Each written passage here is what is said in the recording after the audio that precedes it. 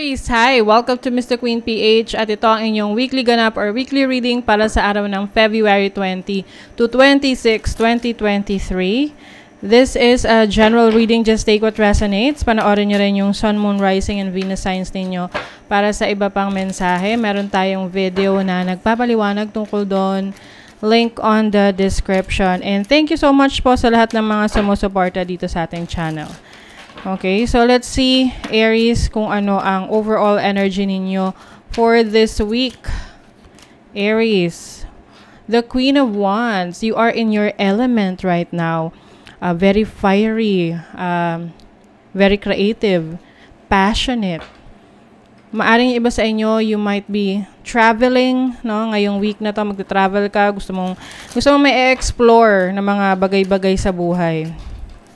Okay, let's see kung ano yung challenge. Ano yung challenge ng mga Aries? Ano ang challenge?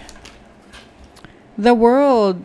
yung iba sa inyo magta-travel sa ibang bansa, no? So, ang challenge maaring ano, kung paano nyo yun magagawa, no? Halimbawa, meron kayo ngayong uh, tipong flight, may flight ka pa abroad or pag-travel sa ibang lugar, baka maging challenging sa'yo yung mismong proseso, no, para mangyari yan. Okay? And some of you naman, maaring meron kayong mga creative na uh, gustong gawin, no? And then, ang challenge sa inyo is kung paano nyo yun ma-achieve. Kung paano kayo magte-take action. So, of course, kailangan mag-take action, no? Para mangyari yan, matupad yan. Tinan natin kung ano yung gagawin nyo. Ano yung action ng mga uh, Aries. Ano yung action ng mga Aries? Justice. Okay, may babalabalansin. babalabalansin. Meron kayong aayusin na dokumento, no? Kasi tinama, parang sa justice, legal documents, ganyan, na kailangan nyo talagang asikasuhin kung gusto nyong matuloy itong mga plano nyo sa buhay, okay? Or maari rin meron kang tutuklasin kung ano talaga yung best for your situation at this moment, no? Mm-mm. So, tinan pa natin.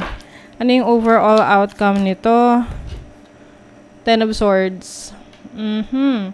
Kind of stressful, no? Uh, kung ano man itong mga plans ninyo, importante kasi na uh, you will take action and gagawa ka ng paraan, of course. And at the same time, magko-comply ka sa kung ano yung nire-require. Okay? So, example, gusto mo mag-start ng business, uh, you are very passionate about it, pero may mga bagay na hindi pa ayos or hindi ka pa uh, sinusubukang asikasuhin ngayong panahon na to. So it's it's much better na gumawa ka ng paraan para maasikaso mo talaga. Oo, yun nga lang ano to, kaya mo naman siya na asikasuhin, ayusin, but medyo stressful. It's going to be a stressful week para sa inyo kung gusto niyo talagang i-pursue yung passion ninyo. What is the Queen of Wands? Ayun, the Hanged Man. O, yung iba sa inyo kasi maaari nagpo-procrastinate, hindi kayo masyadong, yung parang ano lang, isip lang kayo ng isip. Paikot-ikot, paulit-ulit. Um, maaring nasa, nagde-daydream kayo about your plans, but you are not taking action. So, syempre, paano mangyayari yan kung hindi nyo talaga tinitake action. Wala namang problema na, you know, pag-isipan nyo mabuti kasi importante lalo na kung major decision yan. But of course, um, kailangan ano, hindi rin yung masyado nagtatagal kasi pag ganon, uh, yun yung tinatawag na ano, paralysis of the analysis na nasusobrahan ka sa kaka-analyze, hindi ka na makapag-take ng action. Okay? So, let's see kung ano yung challenge. Bakit may the world?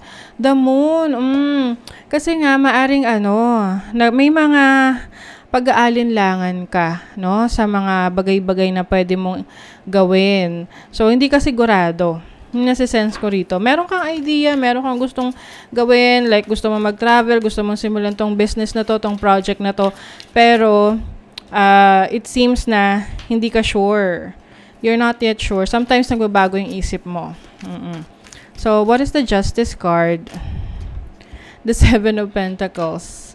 Okay. Ibig sabihin kasi niyan, kulang yung effort. Okay? Ay, yung tipong, yes, kung may ginagawa kang action, paunti-unti, pero kulang. No? Hindi, parang hindi ka ganun ka uh, practical sa mga ginagawa mo ngayon. What is the Ten of Swords? What is the Ten of Swords? The Emperor, this is your energy.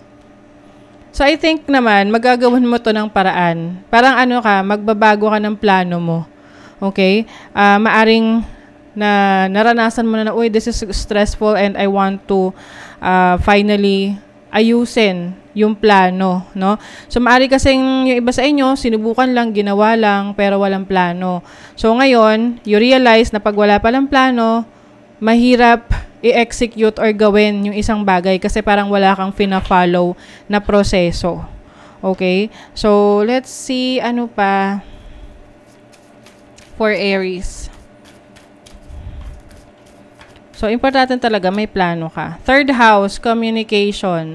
So, third house is also about learning. So, maaring meron kang pag-aaralan na kailangan mo sa mga gagawin mo. You also have descendant invitation. So, maaring may partnership. Merong connection sa ibang tao to help you with what you're doing right now. And you also have Gemini, cross-pollinate. So, ito yung, ano eh, communication din to eh, no? And networking. So, you might be starting a career, a job, a situation na may kinalaman online na importante is you know what you're doing. Okay, so tinan pa natin. I think ano, you will ask help. Hihingi ka ng tulong sa iba. Mm-mm. Courage. Yes, ipagpapatuloy mo to, whatever this is. Uh, may mga may mga minor setback pero ang talagang magbibigay sa niya ng ano, ng push eh yung talagang kung gaano mo kagusto tong bagay na to. You also have conceit, self-love. Ito yung ginagawa mo para sa sarili mo, no? Hindi siya, you know, for other people kasi gusto mo na maging maging ano ka, successful on your own. So, let's see ano pa. You have Lion Spirit, be generous of spirit. So, itong, di ba, sabi nila, kailangan meron kang fighting spirit. Ganon. So, I think yung iba sa inyo, palalakasin nyo yung inyong fighting spirit para magpatuloy yung mga gusto nyong gawin.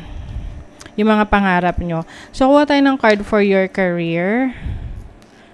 Oh, Eureka, meron ka nga kasing idea na kailangan mo talagang i-explore, no? This is a new opportunity for you to earn money. So, go ahead and explore that and plan, planuhin mo kung paano mo to maisa sa katuparan. So, let's see ano pa. Sa love naman, kuha tayo ng card sa love. Optimistic. So, you are optimistic sa sitwasyon mo sa relationship mo. Kung ikaw ay single, okay lang sa'yo, no? Na walang, ano, wala masyadong ganap. But, alam mo na, uh, kumbaga, kompleto ka on your own, no? Meron mang relationship o wala, you are optimistic, positibo yung pananaw mo sa iyong relationships. So, that is your reading, Aries. Kung nagustuhan nyo to, naka-resonate kayo, mag-comment kayo dyan, like, share, subscribe, para lagi kayong updated sa ating mga readings. Thank you so much, Aries. See you again.